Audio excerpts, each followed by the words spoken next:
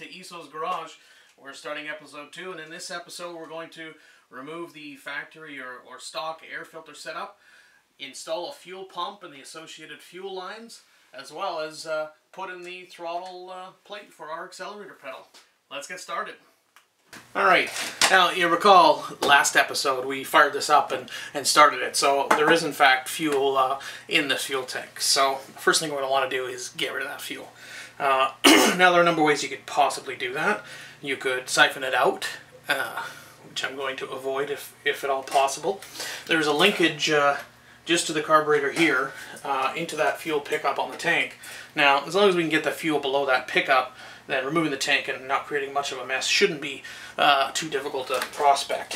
What I'm going to do is use my fancy funnel with the uh, uh, graduated end on it uh, that you saw in the last video when we were filling up and prepping the motor. And I'm just going to use this drain screw on the bottom of the, uh, the carburetor float, the float bowl, and uh, just drain it right into the tank from there. So that's going to essentially drain it at least to the pickup point uh, moving through the carb and then into uh, my jerry can below. So let's try that out.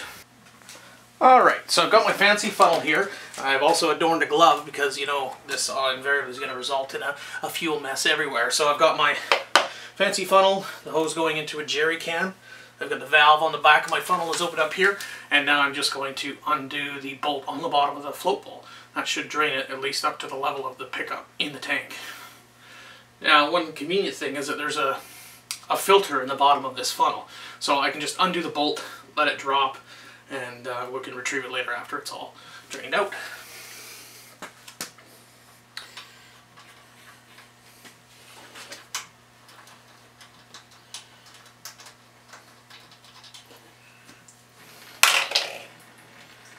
Alright, well, I'll let that drain. Alright, so our fuel is draining down here. Um, I've just decided to go ahead and start doing the removal. The tank is actually not drained yet. Uh, it's been like 20 minutes and it's it's still just trickling away. It's a pretty small opening and uh, you know not a lot of fuel flows through there because it's uh, it's a small engine, it doesn't use a lot of fuel. So uh, to start the removal of the fuel tank, we have just two 10 mil bolts up here. And they are upside down, so remember that you have to back them off in a backwards fashion. And this is a 10 mil wrench.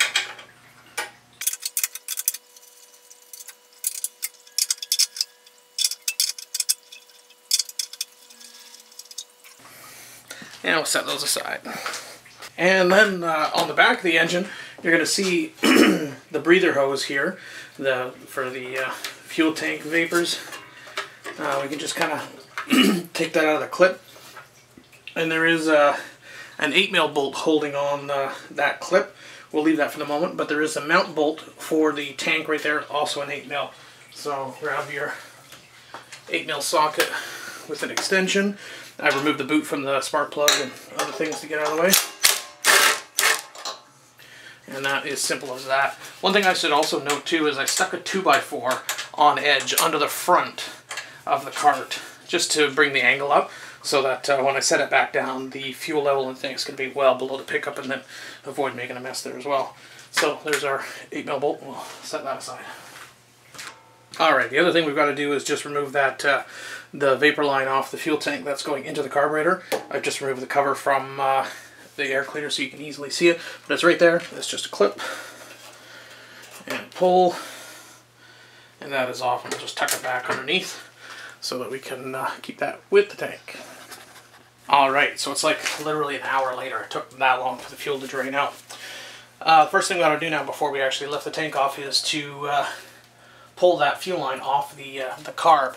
Now, uh, they've obviously put that on without all this contraption on there, otherwise it would be much easier to get to. The clip is actually reversed, so there's no way I can get in there to get it off.